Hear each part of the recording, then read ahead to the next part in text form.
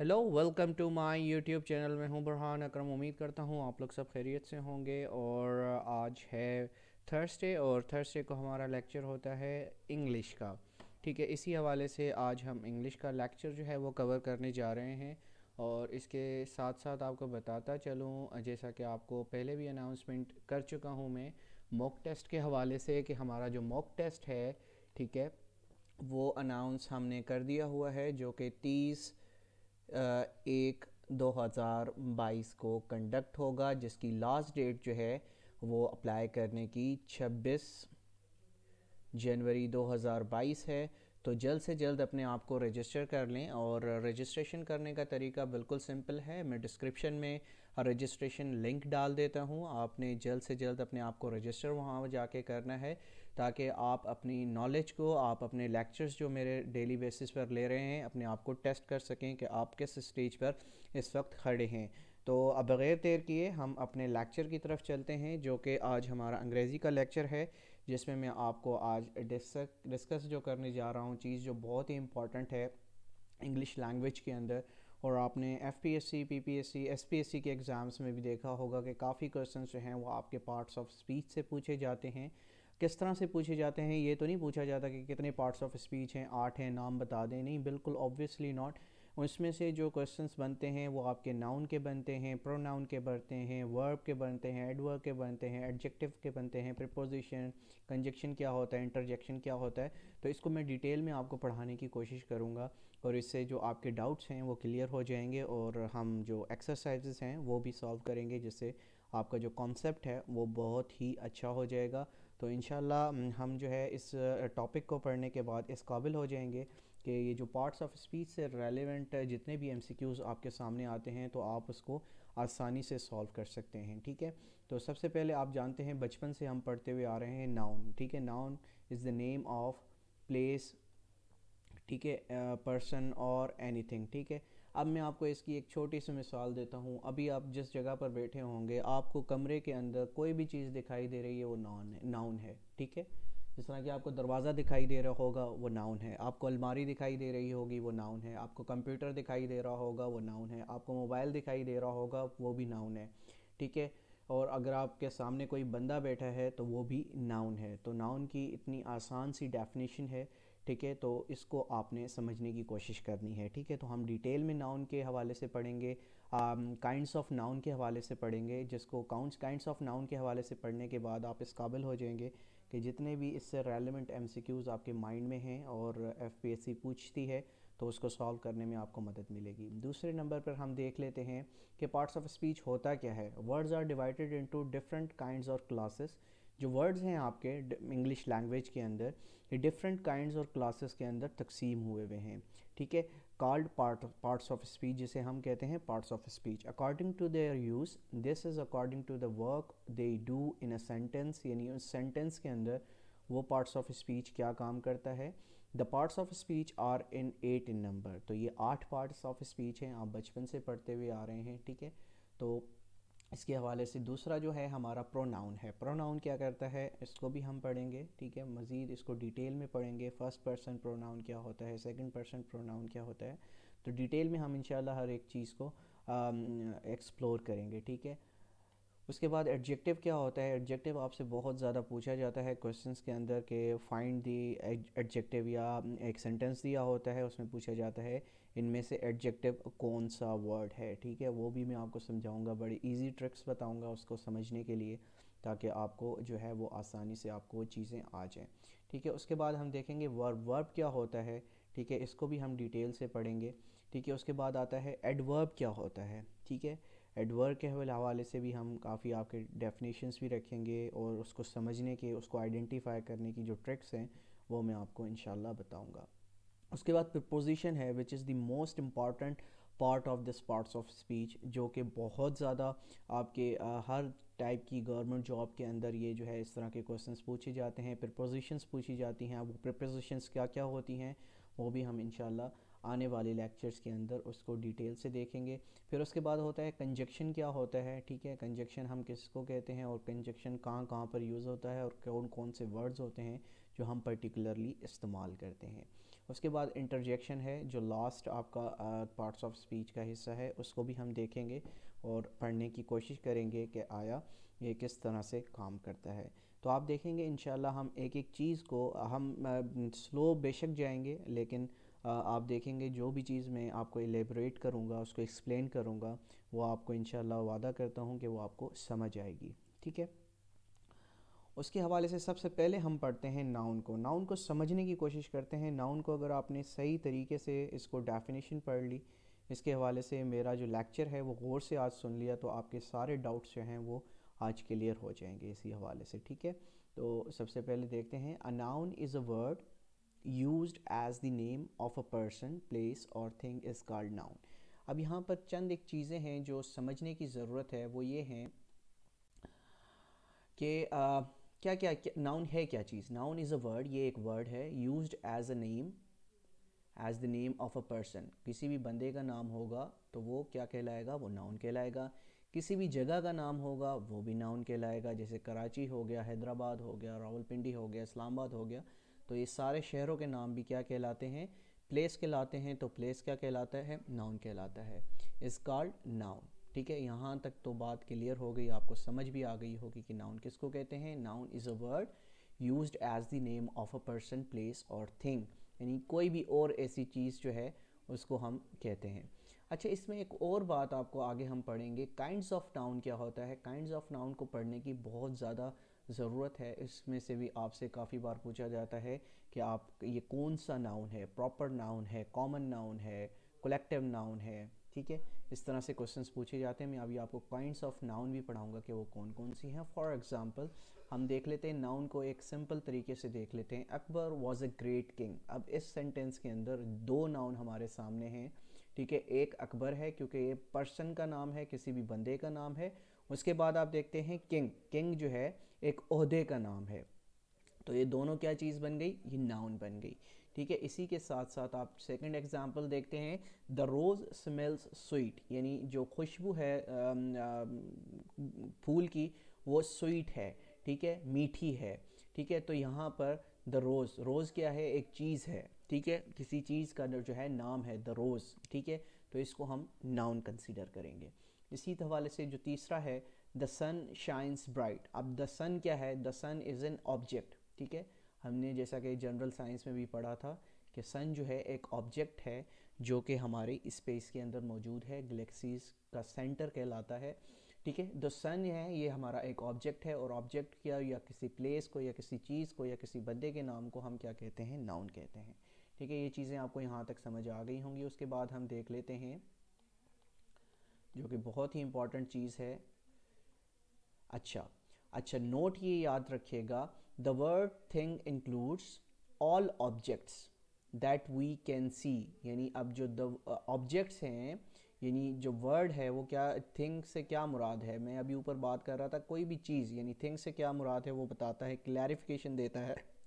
All objects what we can see कोई भी हम चीज़ देखें, सुने, चखें या टच करें या उसको सूंघें, ये सारी चीज़ें जो हैं थिंग में शुमार होती हैं। तो इनके दरमियान ये जो है आपस में रिलेशन है, ठीक है? All objects that we can see hear taste touch और स्मेल उसको हम किस कैटेगरी में शामिल करते हैं? हम उसको किसी चीज़ में शामिल करते हैं, किसी थिंग में शामिल करते हैं। अच्छा दूसरे में वो क्या क्लैरिफिकेशन देता है?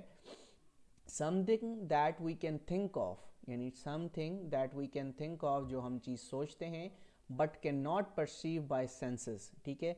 यानी हम एक चीज़ सोचते हैं, लेकिन उसको हम, अपने जो सेंसेस हैं हमारे, उसके उसको, उससे परसीव नहीं कर पाते तो उसको भी हम क्या कहते हैं? चीज़ परसीव करते हैं।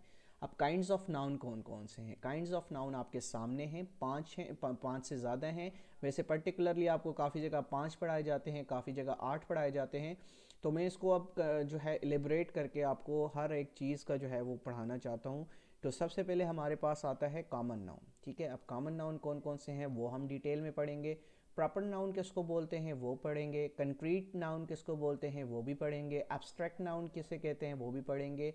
काउंटेबल नाउन्स कौन से होते हैं, वो भी हम देखेंगे इस अपने लेक्चर के अंदर, ठीक है? उसके बाद काउंटेबल नाउन कौन से हैं, ठीक है? अनकाउंटेबल नाउन्स कौन से हैं, फिर कलेक्टिव नाउन्स कौन से हैं, ठीक है? उसके बाद आप देखते हैं कंपाउंड नाउन कौन से हैं, ठीक है? ये चीज़ें हम आज के लेक्चर में जो है इसको डिटेल से पढ़ने की कोशिश करेंगे और लेक्चर को समझने की कोशिश करेंगे ताकि हमारा जो लेक्चर है ये बड़े अच्छे तरीके से आप लोगों को समझ आ जाए, ठीक है? अब सबसे पहले हम कॉमन नाउन को पढ़ने जा रहे हैं, ठीक है?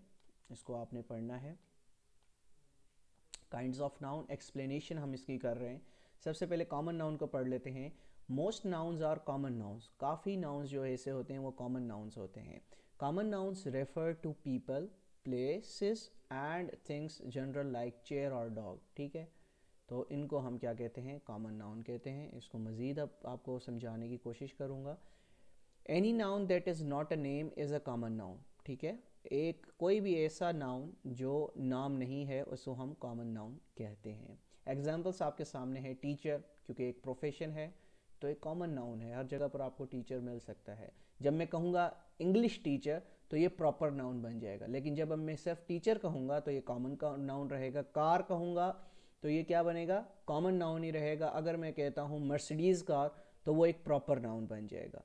म्यूज़िक अगर मैं कहूँगा तो ये एक कॉमन राउंड नाउन रहेगा। अगर मैं कहूँगा आतिफ असलम्स म्यूज़िक तो ये एक प्रॉपर नाउन बन जाएगा। डेंजर में अगर कहूँगा तो ये कॉमन नाउन ही रहेगा। अगर मैं कहूँगा फायर डेंजर यानी आग का ख़तरा तो ये क्या बन जाएगा? ये प्रॉपर नाउन बन जाएगा। फिर रिसीट है। अगर सिर्फ़ रिसीट कहूँगा तो ये कॉमन नाउन ही रहेगा।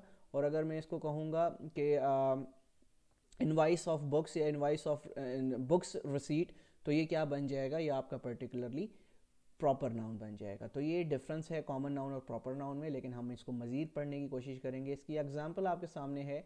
Have you seen my dog अब डॉग क्या है यहाँ पर? डॉग जो है कॉमन नाउन है, उसका कोई नाम नहीं है पर्टिकुलरली अगर इसको हम कहते अब डॉग का अगर हम नाम रख लेते हैं सपोज़ हम नाम रख लेते हैं कोई भी जॉन नाम रख लेते हैं तो ये क्या बन जाएगा? एक प्रॉपर नाउन बन जाएगा।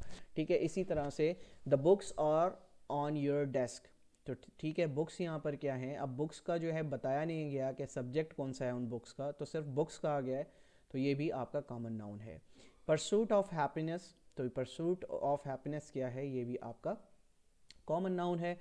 अब दूसरे नंबर पर हम देखते हैं द प्रॉपर नाउन्स कौन से होते हैं? नेम्स ऑफ़ पीपल प्लेसेस और ऑर्गेनाइजेशन और प्रॉपर नाउन्स ठीक है? नेम्स ऑफ़ पीपल यानी जैसे मेरा नाम है बुरहान, आप लोगों का किसी का नाम समी, असद फ़ुरकान, फ़रहान तो ये क्या है? ये प्रॉपर नाउन बन गए। क्योंकि पर्टिकुलरली मैंने निशानदेही कर दी, फ़रहान बुरहान, इस तरह के नाम्स की तो ये प्रॉपर नाउन बन गए। या किसी भी ऑर्गेनाइजेशन का हम नाम ले लेते हैं। Suppose U N O U N O क्या है आपका? ये प्रॉपर नाउन है। क्योंकि यू एन ओ एक पर्टिकुलर ऑर्गेनाइजेशन है। यूनाइटेड नेशंस एक पर्टिकुलर ऑर्गेनाइजेशन है। इस जैसी कोई और ऑर्गेनाइजेशन नहीं है तो ये प्रॉपर नाउन कहलाएगी। Your name is a proper noun ठीक है? आपका नाम जो है, ये एक प्रॉपर नाउन है, ठीक है? London is a proper noun London एक ही है पूरी दुनिया में जो है लंडन काफ़ी सारे नहीं हैं, सिर्फ़ एक ही लंडन है। तो इसको हम क्या कहेंगे? इसको हम सिर्फ़ प्रॉपर नाउन से इसको मुखातिब करेंगे। यूनाइटेड नेशंस पूरी दुनिया में एक ही है तो यूनाइटेड नेशंस भी जो है, वो आपका प्रॉपर नाउन है। अब रूल क्या है? रूल समझ लीजिएगा। रूल जो है, बहुत ही इंपॉर्टेंट है। समटाइम्स आपको रूल्स नहीं पता होते। तो आप गलती करते हैं सेंटेंस स्ट्रक्चर में सेंटेंस को लिखने में। अब रूल क्या है? Proper nouns always start with a capital letter ये आपने चीज़ याद रखनी है। जो प्रॉपर नाउन्स होते हैं ना, वो हमेशा आप चाहे सेंटेंस के बीच में होंगे मिडिल में भी होंगे तो आप उसको कैपिटल लेटर्स में लिखेंगे, ठीक है? जैसा कि अभी ये लिखा हुआ है सपोज़ मैं आपको बता देता हूँ। अगर आगे एग्जाम्पल्स आएँगी तो मैं आपको दिखाता हूँ प्रॉपर नाउन की। एग्जाम्पल्स क्या हैं? Jane Thailand, Sunday, James Bond, Einstein, Superman, Game of, Games of Thrones, Shakespeare. तो ये सारे जो हैं, प्रॉपर नाउन है। मतलब इन जैसा और कोई नहीं है, ठीक है? पर्टिकुलर नाउन्स हैं, ठीक है? उसके बाद आप देखते हैं, let me introduce you to Mary. अब ये देखें, मैरी देखने में लास्ट में आया है, लेकिन ये स्टार्ट हो रहा है कैपिटल से। तो जब भी हम प्रॉपर नाउन की बात करेंगे तो वो कैपिटल से स्टार्ट होगा। ये चीज़ आपने याद रखनी है। द कैपिटल ऑफ़ इटली अभी इटली आई जो है इसका कैपिटल लिखा गया है, फिर उसके बाद आप देखेंगे रोम जो है, वो आर कैपिटल से लिखा गया है। तो इसका मतलब है, जब भी हम प्रॉपर नाउन की बात करेंगे, वो हमारा कैपिटल वर्ड ही यूज़ होगा उसमें, ठीक है? He is the chairman of the British Broadcasting Corporation जब हम पर्टिकुलर किसी भी चीज़ की बात करते हैं तो हम क्या करते हैं, हम जो है, उसको प्रॉपर नाउन कहते हैं, ठीक है? उसके बाद आई वॉज़ बॉर्न इन नवंबर हम पर्टिकुलरली एक महीने की बात कर रहे हैं। ठीक है? तो नवंबर की बात कर रहे हैं तो हम इसको प्रॉपर नाउन जो है हमारा सेंटेंस के अंदर वो नवंबर है। इसके बाद हम तीसरा जो है, बहुत ही इंपॉर्टेंट नाउन है, जिसे हम काफ़ी कैंडिडेट जो हैं, उसमें कंफ्यूज रह जाते हैं कि कंक्रीट नाउन कौन सा है एब्स्ट्रैक्ट नाउन कौन सा है, और एफपीएससी के अंदर to be very honest concrete noun और जो है एब्स्ट्रैक्ट नाउन के हवाले से काफ़ी एम आपसे पूछे जाते हैं। तो कंक्रीट नाउन्स कौन से होते हैं? Concrete nouns are physical things that you can touch कोई भी चीज़ है, आप उसे टच कर सकते हैं तो वो क्या कहलाती है? वो कंक्रीट नाउन कहलाती है। सपोज़ मेरे सामने अब मेरा मोबाइल फ़ोन पड़ा है तो ये किस चीज़ की एग्ज़ाम्पल है? क्योंकि मैं इसको टच कर सकता हूँ, छू सकता हूँ ठीक है? तो ये क्या चीज़ है? ये कंक्रीट नाउन कहलाएगी, ठीक है? पर्टिकुलरली मैंने आपको नाउन की एक डेफिनेशन बताई, फिर नाउन को जो है हमने डिफरेंट काइंड्स के अंदर उसको तकसीम किया है तो उसको हम क्या कहते हैं? काइंड्स ऑफ़ नाउन तो कंक्रीट नाउन कौन से होते हैं? जैसे आप टच कर सकें, उसे हम कंक्रीट नाउन के नाम से जानते हैं। फॉर एग्जांपल्स देख लें मैन ठीक है? Rice head car furniture mobile phone ठीक है? इन सब चीज़ों को आप टच कर सकते हैं, छू सकते हैं, महसूस कर सकते हैं तो ये आपके कंक्रीट नाउन बन जाएँगे। ठीक है? उसके बाद आप देख लेते हैं how many stars are there in the universe तो स्टार्स क्या है? हम इसको देख सकते हैं, ठीक है? छू भी सकते हैं, ठीक है? तो आप आप देखेंगे तो स्टार्स जो है आपके कंक्रीट नाउन है। उसके बाद have you made James Bond James Bond क्या है? एक शख्सियत का नाम है तो यू कैन टच हिम ठीक है? तो ये भी आपका कंक्रीट नाउन बन गया। अच्छा pour the water down the drain अब अब ये जो वाटर है, इसको भी आप छू सकते हैं, ठीक है? You can touch the water easily तो ये आपका कंक्रीट नाउन बन गया। अब देखते हैं एब्स्ट्रैक्ट नाउन क्या होता है। अब ये देखें, ये उसका अपोजिट है, ठीक है? कंक्रीट नाउन का जो अपोजिट है, वो है एब्स्ट्रैक्ट नाउन इसको आप इजीली याद कर सकते हैं। Abstract nouns are the opposite of concrete nouns ये अपोजिट होते हैं कंक्रीट नाउन्स के। They are things that you can not touch. ये वो चीज़ें होती हैं जिसको आप टच नहीं कर सकते, ठीक है? तो एब्स्ट्रैक्ट नाउन कौन से होते हैं? वो नाउन्स होते हैं जिसको आप टच नहीं कर सकते। Abstract nouns are ideas concepts and feelings suppose आपके आइडियाज़ हो सकते हैं, आपके कॉन्सेप्ट्स हो सकते हैं, आपकी फीलिंग्स हो सकती हैं तो इसको हम एब्स्ट्रैक्ट नाउन कहेंगे। ठीक है, इस लेक्चर से इंशाल्लाह जो लोग मुझे कम्प्लीटली सुनेंगे, ध्यान से सुनेंगे उनको आज के बाद जो नाउन की काइंड्स हैं, उसमें कभी भी उनको आइडेंटिफाई करने में किसी भी चीज़ में प्रॉब्लम नहीं होगी इन ठीक है? तो कंक्रीट नाउन कौन से होते हैं जिसे हम टच कर सकते हैं? एब्स्ट्रैक्ट नाउन कौन से होते हैं जिसे हम टच नहीं कर सकते? उसके बाद एग्जाम्पल्स देख लेते हैं। हैप्पीनेस वो चीज़ है जिसे आप टच नहीं कर सकते, सिर्फ़ महसूस कर सकते हैं। करेज भी जो है आप सिर्फ़ इसको टच नहीं कर सकते, महसूस कर सकते हैं। डेंजर को आप सिर्फ़ दे सिर्फ़ महसूस कर सकते हैं ट्रुथ भी आप महसूस करते हैं, इसको टच नहीं कर सकते, ठीक है? उसके बाद हम देख लेते हैं इसकी एग्जांपल्स क्या होंगी। He has great strength strength जो है, आप इसको टच नहीं कर सकते। ये एक जस्ट आइडिया है ओपिनियन है। Who killed President Kennedy is a real mystery mystery भी जो है, आपकी क्या है, इस you can not touch the mystery ठीक है? Sometimes it takes courage to tell the truth ठीक है? अगेन ये आपका जो है um, आप इसको टच नहीं कर सकते. Their lives were full of sadness sadness भी जो है एक फीलिंग है जिसे आप you can not touch it ठीक है? उसके बाद हम देख लेते हैं काउंटेबल नाउंस कौन से होते हैं. अब ये नाम से ही ज़ाहिर है नाम से ही आपको इसको आसानी से पहचान सकते हैं. अच्छा you can count countable nouns अब ये वो नाउंस होते हैं जिसे आप काउंट कर सकते हैं. ईजिली काउंट कर सकते हैं. Countable nouns have singular and plural forms अब इसके अंदर सिंगुलर एंड पिलुलर जो है फॉर्म्स वो यूज़ हुई हुई होती हैं। ठीक है, अब उसकी एग्जांपल्स भी हम देख लेते हैं। बॉल हो गई बॉय हो गया कैट पर्सन ठीक है। इसके बाद I have only five dollars ठीक है। डॉलर्स क्या है? आपका पिलुलर है। ठीक है again the earth was form 4.6 billion years ago यहाँ पे अगेन आपका क्या हो यूज़ हुआ है? पिलर यूज़ हुआ है साल को हम कंसिडर करने के लिए। There are lots of people but we don't have a car ठीक है? हमारे यहाँ बहुत से लोग हैं, लेकिन हम, हमारे पास कार नहीं है। ठीक है? इसी हवाले से अनकाउंटेबल नाउंस कौन से होते हैं? अब ये लव से ही ज़ाहिर है। You can not count uncountable nouns आप किसी भी अनकाउंटेबल नाउन को काउंट नहीं कर सकते। You need to use measure words to quantify them आपको जो है वर्ड्स ऐसे यूज़ करने पड़ेंगे, जो उसको क्वान्टिफाई करेंगे। देख लेते हैं रूल इसका याद कीजिएगा।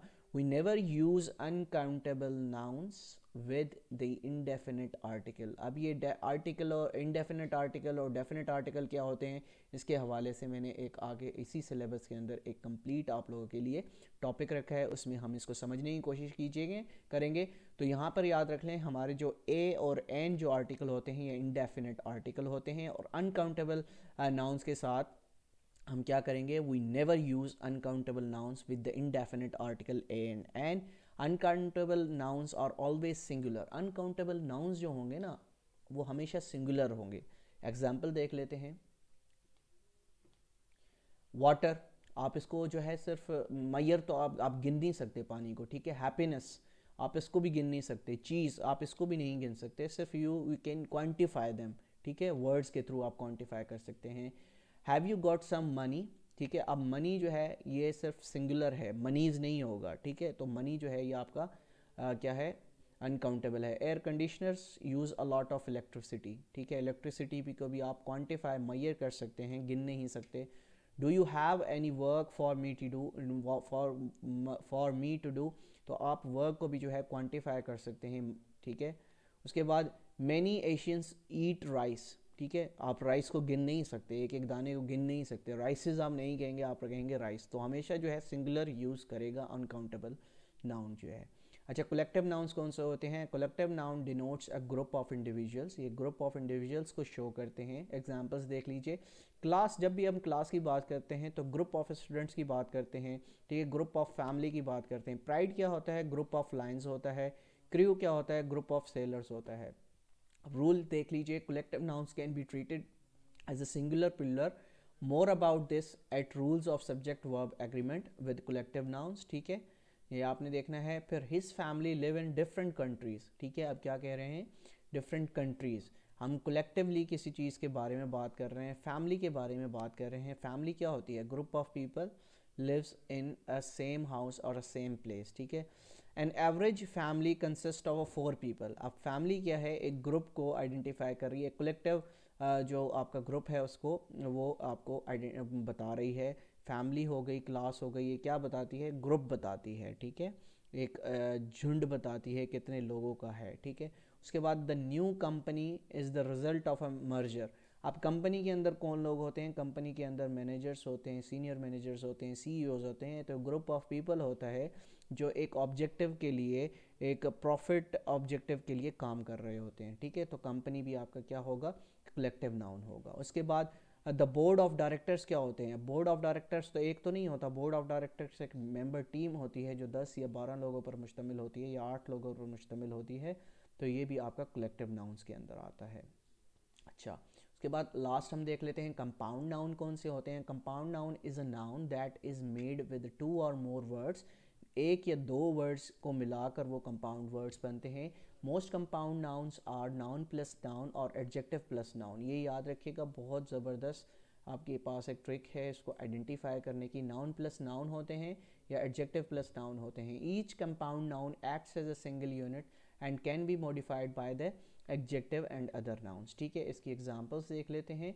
अच्छा compound nouns have three different forms open और स्पेस्ड स्पेस बिटवीन वर्ड्स ठीक है, जैसे होगा अब ये देखिए दो वर्ड्स इस्तेमाल हुए हैं, बस स्टॉप और इसके अलावा एक और चीज़ याद रखिएगा हाइफिनेटेड होते हैं। हाइफिनेटेड आपने वर्ड्स देखे होंगे, जिसमें मदर के बाद हाइफी हम यूज़ करते हैं इन के बाद हाइफी और लॉ के बाद। ये कौन से वर्ड्स होते हैं? ये कंपाउंड नाउन कहलाते हैं, ठीक है? क्लो क्लोज्ड और सॉलिड वर्ड्स कौन से हैं? नो स्पेस और hyphen between the words football मतलब एक ही साथ ये यूज़ हुआ अब जिस तरह बस स्टॉप था, ये ओपन और क्लोज था, ये स्पेस बिटवीन वर्ड्स यानी बस स्टॉप ठीक है? अब यहाँ पर जब फुटबॉल है तो नो स्पेस और हाइफिन बिटवीन द वर्ड्स तो इसको हम फुटबॉल कंप्लीटली लिखते हैं। अब इसकी एग्जाम्पल्स हैं cat food blackboard breakfast full moon washing machine या सॉफ्टवेयर तो can we use swimming pool अब ये दो वर्ड्स हैं, ठीक है? तो कंपाउंड नाउन बना रहे हैं, ठीक है? They stop work at sunset अब सनसेट के दरमियान आप देख रहे हैं कि कोई भी जो है नो स्पेस और नो हाइफिन इज़ यूज़ तो ये जो है कंपाउंड नाउन कहलाएगा। Don't forget that check out check out के दरमियान आपने क्या हाइफिन यूज़ किया हुआ है? इज़ एट ट्वेल्व नून तो ये भी आपका कंपाउंड नाउन कहलाएगा। ठीक है, जिसको हम क्या कहते हैं, जिसको हम hyphen between words hyphenated compound noun भी कह सकते हैं, ठीक है? Let's do some exercise on noun ठीक है? इसके हवाले से कुछ एम आपके सामने लाया हूँ ताकि आपकी जो ये एक्टिविटी है, ये मज़ीद आपको समझ आ जाए। तो क्वेश्चन नंबर वन है George Washington is an example of an common noun proper noun concrete noun या एब्स्ट्रैक्ट नाउन तो जो मैंने आपको बताया, जब भी किसी बंदे का मखसूस नाम आ जाएगा तो वो प्रॉपर नाउन कहलाएगा। उसी हवाले से नेक्स्ट देख लेते हैं। Government is an example of an compound noun common noun proper noun या एब्स्ट्रैक्ट नाउन अब गवर्नमेंट को आप टच नहीं कर सकते। You can not touch the government तो गवर्नमेंट आपका क्या कहलाएगा? एब्स्ट्रैक्ट नाउन कहलाएगा। ठीक है? और इन अदर वर्ड्स अगर आप दूसरे उसमें देखें तो ये आपका कामन नाउन भी कहलाया जा सकता है कि गवर्नमेंट तो पूरी दुनिया में होती है, ठीक है? तो पर्टिकुलरली यहाँ पर अगर आपका गवर्नमेंट पूछा गया है तो वो एब्स्ट्रैक्ट नाउन होगा। अच्छा क्वेश्चन नंबर थ्री है choose the type of noun to use to which the given words belong अब ये बहुत दफ़ा ये एफ़ पी एस सी में क्वेश्चन रिपीट हुआ है। इस तरह से क्वेश्चन आते हैं। Choose the type of a noun to which the given words belong अब ये ट्रुथ के हवाले से पूछ रहे हैं कि ट्रुथ क्या है इनमें से। एब्स्ट्रैक्ट नाउन है कलेक्टिव नाउन है कॉमन नाउन है प्रॉपर नाउन है। तो मैंने आपको बताया था कि ट्रुथ जो है, वो आपका एब्स्ट्रैक्ट नाउन है। क्योंकि ये एक एक चीज़ है जिसे हम टच नहीं कर सकते, ठीक है? तो एक्सप्लेनेशन क्या है? Truth can not be touched again वही देखे मैंने जो आपको बताया था but can be felt hence it is an abstract noun उसके बाद आप देख लेते हैं question number four choose the type of noun to which the given words belongs honesty ये belongs to sorry honesty belongs to what honesty belongs to abstract noun ठीक है? You can not you know touch the honesty ठीक है? ये इसकी example है. Explanation honesty is intangible hence it is an abstract noun उसके बाद आप देखते हैं choose the type of noun to which given words belongs class अब मैंने आपको बताया था कुछ देर पहले क्लास क्या है? Class is an abstract noun जिसे आप टच नहीं कर सकते। क्लास को आप कलेक्टिव नाउन भी कह सकते हैं ठीक है? ये कलेक्टिव नाउन भी हो सकता है ऑब्वियसली ठीक है? उसके बाद आप देखते हैं class has students which are homogeneous elements hence it is an collective noun ठीक है? तो सॉरी ये आ, ये गलत मार्क हुआ है तो ये कलेक्टिव नाउन कहलाएगा। सॉरी फॉर दैट ये आंसर नहीं है इसका। इसका जो आंसर है वो कलेक्टिव नाउन है ऑब्वियसली सॉरी फॉर दैट जैसे मैंने आपको बताया था ठीक है? लेकिन अगर आप क्लास की बात करें तो वो एक्सट्रैक्ट एब्स्ट्रैक्ट नाउन भी हो सकता है क्योंकि you can not touch okay you can touch the actually yes yes you can touch the actually okay collective noun ये कहलाएगा ठीक है? सॉरी फॉर दैट ये मिस्टेक uh, हो गई है। ठीक है उसके बाद क्वेश्चन नंबर सिक्स है choose the type of noun to which the given words belong pupils अब पुपल्स क्या होते हैं? पुपल्स आपको बताएँ आँखों के पुतलियों के अंदर आपकी जो आँखें हैं उनके अंदर पुपल्स एक एक ऑब्जेक्ट है एक um, जो है ऑर्गन है जो which use to help you to see the things अब ये क्या है? ये क्या चीज़ है? ये कॉमन नाउन है। हर किसी के पास आँखें होती हैं और हर किसी के पास आँखों में पुपल जो एरिया है पुपल जो पार्ट है वो मौजूद होता है। It is a peculiar form of common noun I E pupil an important part of the eye I have everybody has an eye ठीक है? तो उसके बाद सबके पास होती है। Find the abstract noun from the following sentence you should show respect to your teachers respects के हवाले से यू शुड अब यहाँ पर you should show respect to your teachers अब रेस्पेक्ट इसमें से एब्स्ट्रैक्ट नाउन कौन सा है? इसमें से एब्स्ट्रैक्ट नाउन जो है वो रेस्पेक्ट है। You can touch the teacher yes you can touch the teachers but you can not touch the respect ठीक है? एब्स्ट्रैक्ट नाउन के हवाले से यहाँ पूछा जा रहा है तो इनमें इस सेंटेंस में जो एब्स्ट्रैक्ट नाउन है, वो आपका है रेस्पेक्ट उसके बाद क्वेश्चन नंबर एट है find the proper noun in the following sentence I named my cat Lucy अब फाइंड द प्रॉपर नाउन पूछा गया है तो प्रॉपर नाउन क्या है? लूसी जो है, वो नाम है तो that's why Lucy is an proper noun ठीक है? क्वेश्चन नंबर नाइन है फाइंड द कॉमन नाउन अब कॉमन नाउन के हवाले से पूछा जा रहा है in the following sentence Amitabh Bachchan is a great actor अब अमिताभ बच्चन जो हो गया, ये तो हो गया प्रॉपर नाउन आपका. Is a great actor actor जो है, वो आपका क्या कहलाएगा? वो आपका कॉमन नाउन कहलाएगा. There are so many actors all around the world उसके बाद क्वेश्चन नंबर टेन है which among the following is uncountable noun ये आपको खुद आंसर करना है. इंक पेन पेज या पेंसिल पेंसिल को भी आप काउंट कर सकते हैं. पेज पेजेस को भी आप काउंट कर सकते हैं पेन्स को भी आप काउंट कर सकते हैं but you can not count the ink ठीक है? इनको आप काउंट नहीं कर सकते और यही आपसे क्वेश्चन में पूछा है अनकाउंटेबल नाउन को आइडेंटिफाई करें। ठीक है? इसी हवाले से हमारा आ, दूसरा जो है वो प्रोनाउन है जिसको हम थोड़ा सा आज डिस्कस करेंगे और बाकी जो है इसको नेक्स्ट लेक्चर में हम कवर करेंगे। अच्छा a pronoun is a word that can replace noun in a sentence ठीक है? प्रोनाउन एक वर्ड है जो रिप्लेस करता है नाउन को सेंटेंस के अंदर ठीक है उसके बाद आप देखते हैं प्रोनाउन लिस्ट देख लेते हैं क्या he is a pronoun it is a pronoun you is a pronoun I is a pronoun they is a pronoun we is a pronoun who is a pronoun him is a pronoun अब ये चीज़ें क्या है ये replace कर सकती हैं noun को them is a pronoun whoever is a pronoun anyone is a pronoun something is pronoun nobody is pronoun and ये जो आज का आपका हमारा टॉपिक था, ये ख़त्म हुआ इन इसी को प्रोनाउन को आगे हम कंटिन्यू करेंगे, ठीक है? तो इसी हवाले से लास्ट में भी आपको बताता चलूँ, जिन लोगों ने अभी हमें ज्वाइन किया है। तो 30 जनवरी 2022 को हमारा मोक टेस्ट कंडक्ट होने वाला है, ठीक है?